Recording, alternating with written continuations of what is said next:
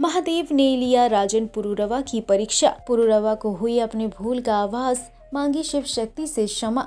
जी हाँ कल इस टीवी के मोस्ट पॉपुलर शो शिव शक्ति तफ त्याग तांडव के एपिसोड में आप देखेंगे कि कैसे एक तरफ़ अशोक सुंदरी के साथ बाकी देवियाँ अपने देह को त्याग करने के लिए सज्ज होंगी तो वही पुरुरवा को कोई भी समझा नहीं पाएगा।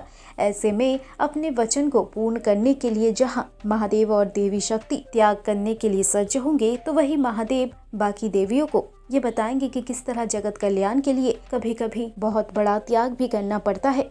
लेकिन अशोक सुंदरी अपने पिता की एक नहीं सुनेंगी, जबकि दूसरी तरफ़ प्रजापति दक्ष आ पहुँचेंगे, जिन्हें देखकर राजा पुरुरभा प्रसन्न तो होंगे।